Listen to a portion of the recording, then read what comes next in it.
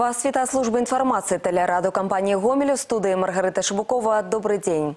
Організація прийому біженців і вимушених переселенців у регіоні отримала високу адзнаку ад члену міжнародної делегації, яка зараз знаходиться у Гомелі. Супрацовники замежных посольстваў знайомяцца са становішчам беженцаў у рэгіёне ў ходзе двухдзённага візіту. Узначальвае дэлегацыю прадстаўнік управлення Вярхоўнага камісара ААН па справах беженцаў у Рэспубліцы Беларусь Жан Іў Бушардзі. Сёння на тэрыторыі гомельскай вобласці знаходзіцца звыш 27 тысяч грамадзян Украіны, якія прыбылі з пачатку ўзброенага канфлікту на Донбасе. Для аказання дапамогі жыхарам Данецкай і Луганскай абласцей была створана спецыяльная камісія. У яе кампетэнцыі вырашэнне пытанняў аб працаўладкаванні, аднаўленні дакументаў, аказанні медыцынскай дапамогі і шэрагу іншых. Больш за паўтары тысячы украінскіх сем'яў атрымалі жыллё ў сельскай мясцовасці і працу ў гаспадарках вобласці. У дзіцячыя садкі і школы прыняты 600 дзяцей. На дабрачынны рахунак паступіла каля 400 мільёнаў рублёў ахвяраванняў ад арганізацыі і грамадзян. Падчас сустрэчы у гомельскім аблвыканкаме Жан Іў Бушардзі адзначыў вялікі ўклад мясцовых уладаў у вырашэнне праблем бежанцаў і перасяленцаў, якія пражываюць на Гомельшыне. А таксама абвясціў падзяку камітэту па працы, занятасці і сацыяльнай абароне гомельскага аблвыканкама, якому належыць вядучая роля ў гэтай працы. Ни одна из областей вот такой работы не проводила, какую проводила Гомельщина. Очень затронуло отношение наших людей. Люди добровольно э, несли, оказывали помощь этим семьям, и мебель, и продукты питания. И это как раз вот и сами граждане отмечают то, что белорусы очень серьезно и по-соседски, по-доброму отнеслись вот к этим проблемам, которые есть. Напярэдадні адзначалася 70 гадавіна заканчэння другой сусветнай вайны. 2 верасня 1945 года Японія падпісала акт капітуляцыі. У Гомелі ў абласным музеі ваеннай славы да гэтай даты прымеркавалі урок міру. Другая сусветная вайна памятаць дзеля міру. Сустрэча адбылася ў рамках выставачнага праекта на ціхім акіяне скончылі свой паход. Многія нашы землякі пасля заканчэння вялікай адчыннай вайны прымалі ўдзел у далёка-ўсходняй кампаніі і сталі сведкамі капітуляцыі Японіі. Да ўдзелу ва ўроку міру запрасілі навучэнцаў 27 школы горада Гомеля. Сёння гэта другая ў рэспубліцы і пакуль адзіная в вобласці установа адукацыі, якая афіцыйна носіць статус школы міру. Яе навучэнцы частыя наведвальнікі музея военной славы. решили, что именно им это будет интересно и полезно провести вот такой разговор, вспомнить об этой итогах этой войны, ну и, естественно, сделать все возможное, чтобы мир, который был завоеван, он был сохранен, и республика наша в годы Второй мировой войны понесла самые, наверное, если брать вот в таком процентном отношении, большие потери э, в мире, поэтому мы действительно республика миротворец. У рамках акцыі любімая Беларусь у гомелі адбылася незвычайная фотасесія. Прафесійны фотограф Галіна Ласаева разам з актывістамі БРСМ рабіла здымкі на вуліцы ўсіх жадаючых прахожых. Для ўдзелу дастаткова было выбраць у дзяўчат таблічку з надпісам і паўстаць перад камерай. На лістках былі напісаны патрыятычныя хэштэгі пажаданні. Ідэя візуалізацыі патрыятычных пачуццяў знайшла свой водгук у асноўным у моладзі. Менавіта ім аказалася бліжэй канцэпцыя падобнай фотоакцыі. Всем участникам акции раздаем флайеры. На этих флайерах написано адрес, написан адрес э, альбома э, в группе, в которой можно эту потом фотографию найти. Они все довольны, счастливые, скачивают себе эти фотографии.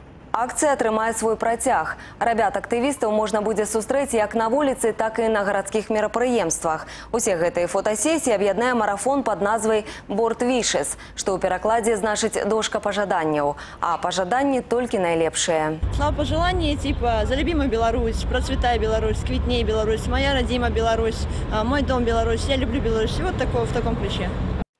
Пачатак навучальнага года адказны час для педагогаў гомельскага абласнога эколага біялагічнага цэнтра дзяцей і моладзі. З прыходам новых выхаванцаў у работу ўводзяцца новыя формы навучання, ідзе распрацоўка новых методык выкладання.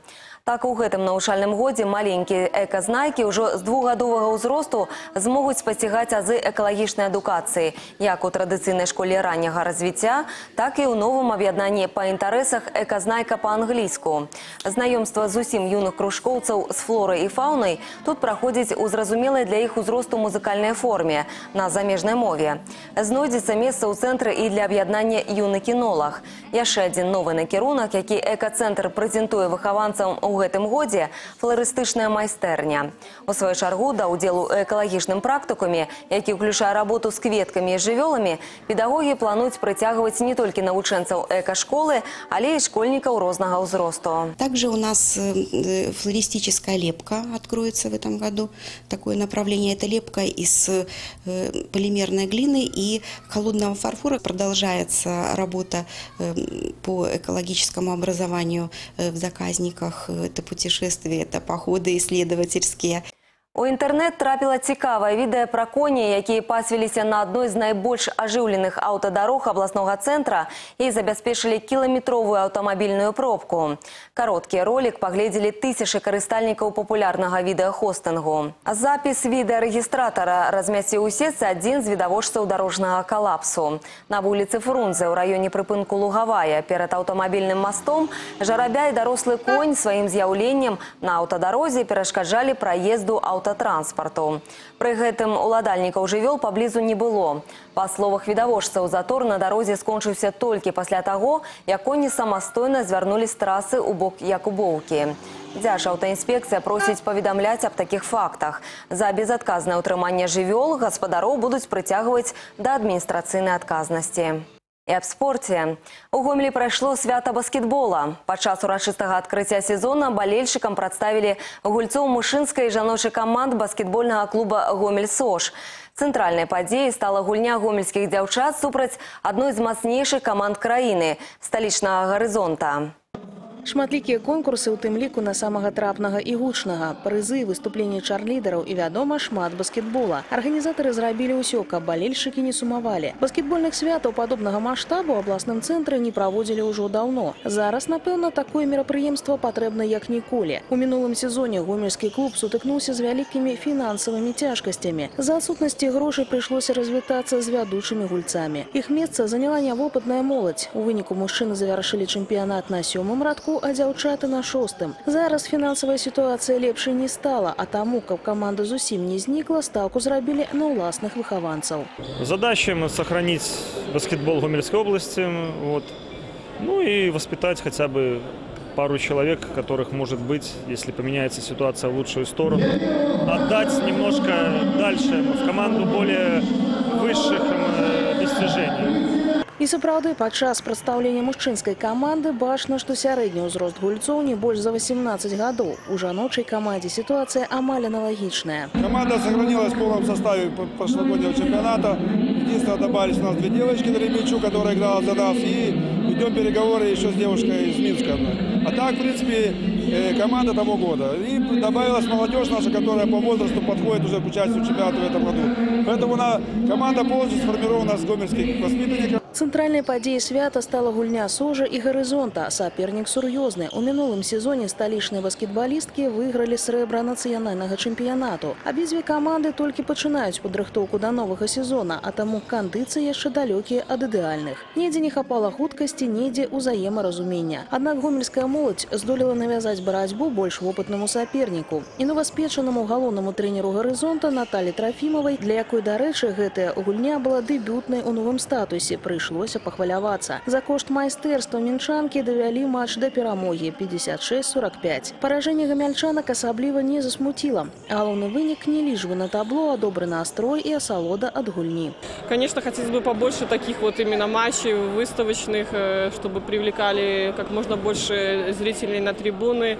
Все-таки баскетбол это интересная игра. и у нас определенные успехи на уровне сборных. И хотелось бы, чтобы как можно больше все-таки приходила, занималась этим баскетболом и смотрела тоже, болела за нас. Новы баскетбольны сезон стартуе ў кастрычніку і застаецца спадзявацца, што на гульнях гомельскіх каманд балельшчыкаў будзе збірацца не менш, чым на гэтым свяце. Падтрымка з трыбун абавязкова стане добрым матыватарам для спартсменаў. Максім Савін, Вольга Вальченко, Валерый Гапанько, тэлерадыёкампанія «Гомель». На гэтым выпуск завершаны. У студыі працавала Маргарыта Шыбукова. Всяго добрага і да сустрэчы ў эфіры.